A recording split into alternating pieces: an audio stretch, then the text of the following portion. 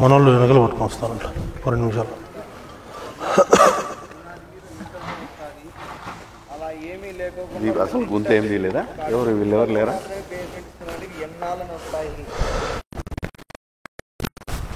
Sir మీరు? అవును sir ఎన్ని సార్ మొత్తం ఇక్కడ ఐదు వందల పది ఇండ్లు ఉన్నాయి. ఐదు వందల పదిహేనులో ఐదు వందల పదిహేనులకు సంబంధించి అంటే మీరే చేస్తున్నారా? ఇవన్నీ లేకుండా ఓన్గా చేసేటోళ్ళు కూడా వేరు ఉన్నాయి ఓనగా చేసేవాళ్ళు ఉన్నాయి ఇంకా. ఒక థౌజండ్ ఉన్నాయి. మీరు ఎంత చేస్తున్నారు? మేము ఫైవ్ హండ్రెడ్ టెన్ చేస్తున్నాం. ఐదు వందల దాకా చేస్తున్నాం. అంటే గవర్నమెంట్ కన్స్ట్రక్ట్ చేస్తుంది. మిగతావి వాళ్ళే ఓన్గా. ఇప్పుడు దీంట్లో ఏంటంటే మీకు ఎట్లా చేస్తారంటే నాలుగు చుట్ల నాలుగు హోల్స్ అనేవి పెట్టేసి ఆగర్ హోల్స్ చేస్తాం. సెవెన్ ఫీట్ ఆగర్ హోల్స్ వేసి ఆ, అందులో కాలర్ మీద మళ్ళీ ప్లింత్ బీమ్ వేస్తాం. ఉం. ఇప్పుడు అట్లా చేసిన తర్వాత ఇప్పుడు పైన నిన్న కూడా వచ్చి చూసాను నేను.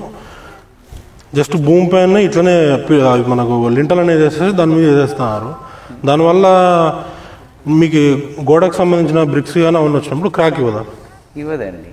ఎందుకు ఇవ్వ- అంటే ఏ దాని బేస్ మీద ఉంటుంది? మనకి క్రాక్ ఇచ్చే అవకాశం ఉంటుంది మీద? కింద అనేది కింద లోతు వరకు ఒక మామూలుగా ఏదైనా ఇల్లు కట్టుకోవాలంటే ఇప్పుడు వాళ్ళు ఉంది ఎదురుగా.